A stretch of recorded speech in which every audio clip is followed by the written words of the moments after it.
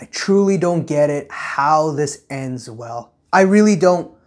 A lot of Americans out there are tapping into HELOC, tapping into credit out there, investing in the stock market, gambling here and there, maybe fixing up their rental properties or buying properties right now as interest rate continue to move up and, and the Fed continues to hike rates and keep rates there for higher for longer. As they said, those were their words.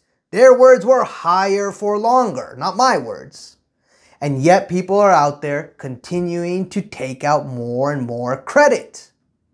Now, before I get into that, my name is Daniel. You're watching Inforvest. Inforvest is an organization that promotes financial literacy, teaches you about the financial markets, the, utilizes macro knowledge, macro news, ties it in with stocks, bonds, commodities, currencies, and crypto. If you like content like that, hit the subscribe button and the bell icon to be notified on the next video. And hit the like button and comment below if you want to hear about any other topics or suggestions that you may have or maybe just something you want to comment about this video.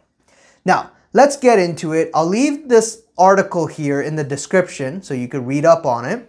But it basically comes out from Bloomberg. It says US homeowners are tapping 9 trillion in real estate wealth.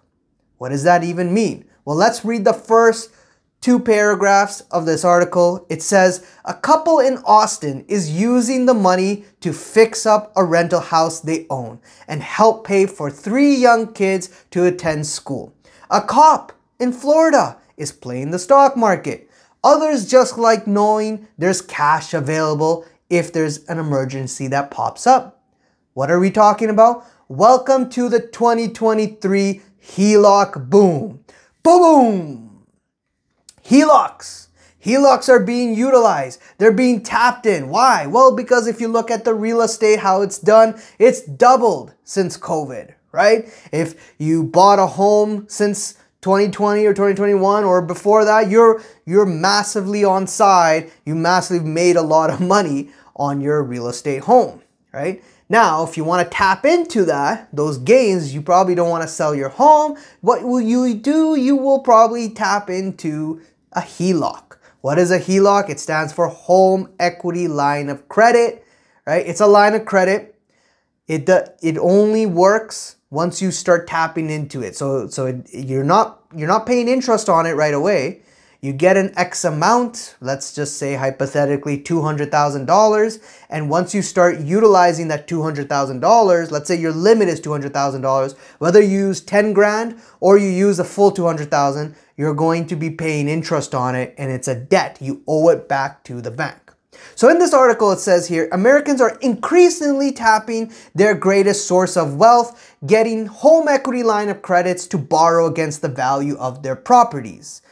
With skyrocketing in pandemic real estate rally, HELOCs have become more popular as mortgage rates surge from record lows, making cash out refinancing unattractive to most homeowners, right? So you could see that, okay, you know, in order to get some sort of money, instead of refinancing their whole home, let's go for HELOCs. And this trend is starting to move up more and more, right? Ross and Sarah Ponder bought a house in Austin in 2018 for 560,000. 4 years later after COVID migration made the Texas capital one of the hottest markets in the country, the place was worth 1 million 561 to 1 million. Amazing massive gain. How do you take advantage of this? With three kids age under uh, age 5 and under the ponders decided in march 2022 march 2022 was when the markets the real estate markets peaked. Because real estate prices tend to lag versus the stock market. Right? I understand stock market was selling off in 2022, but in real estate, it was really March around that level that, that peaked. So the Ponders decided in March 2022, let's take out a HELOC of $237,000. They had recently closed on investment property and the cash helped them make repairs and pay their kids' tuition. They also found peace of mind knowing that they had some extra cash around. The Ponders basically said, Ross Ponder, who is a 39 year old real estate agent, said it's important to have options for getting money in a crisis. It helps us keep us liquid, cash liquid, which we prefer. Now, going on, typically with a HELOC, there's an upfront fee, right? An upfront fee that you pay, and the interest doesn't get utilized, doesn't accrue until you use the funds. Now, homeowners with a mountain of equity, they can and it can end up being a very costly option for them, especially because HELOCs have variable rates, not fixed rates. So the ponders were basically paying 7% interest rates and that jumped up to 8.7%. And we know from the Federal Reserve, they're continuing to hike and hike and hike. They said it in their last projections that they want to do two more rate hikes this year. Obviously, that can change. If the economy continues to do well, people are going to Taylor Swift concerts, buying, spending like crazy. People tapping into the HELOCs, spending, spending, spending there as well. Guess what the Fed does? Hey, the economy can handle it. Let's hike rates more, further up, maybe 6% interest rates, which means those HELOCs and those mortgage rates continue to go up, especially if they're on variable. So 8.7% could end up being 9%, 10%, 11, 12%. At what level will people realize that, hey, getting excessive debt, taking it out right now may not be the wise option?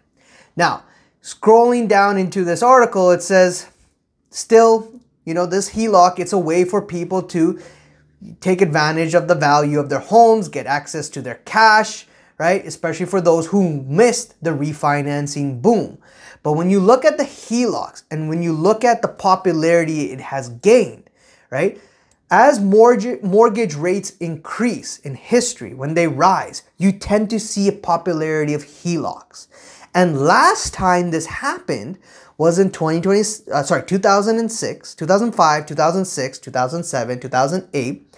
HELOCs were gaining popularity, right? Rates were going up in 2006, 2007, right? Rates were going up.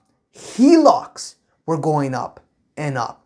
And then afterwards, from there, you saw a big drop, right? 2008, big drop, still a big level of HELOCs were taken out in 2008, but a massive drop from 2007 because that's where the big, the great financial crisis happened. Real estate completely collapsed, right? And so as lending and many other things. And then afterwards, after 2008, it plateaued and then it kind of steadied and picked up a bit, right?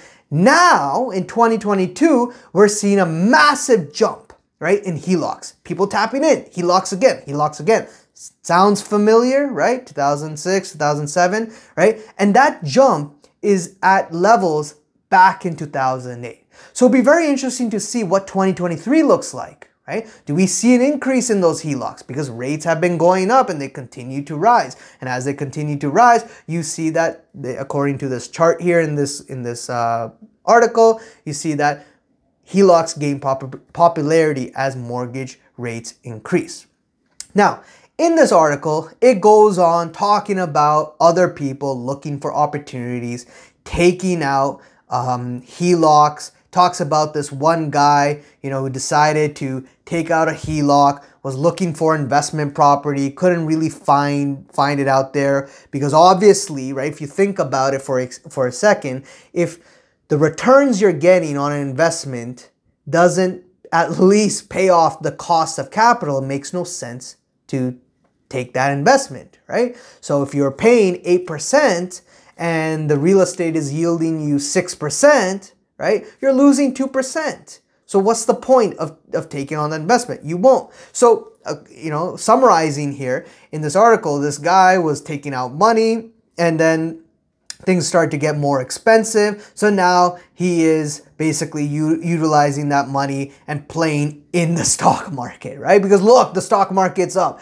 The NASDAQ is up. It's 7% away from all-time highs. Hey, something's going very well over there. So this real estate investor has now turned into a stock trader investor there and this person also trades options playing with calls and, and puts and basically trades 30 to 60 days expiry options and um, try he basically tries to make money from there and use that money to pay off the interest on his HELOC, right?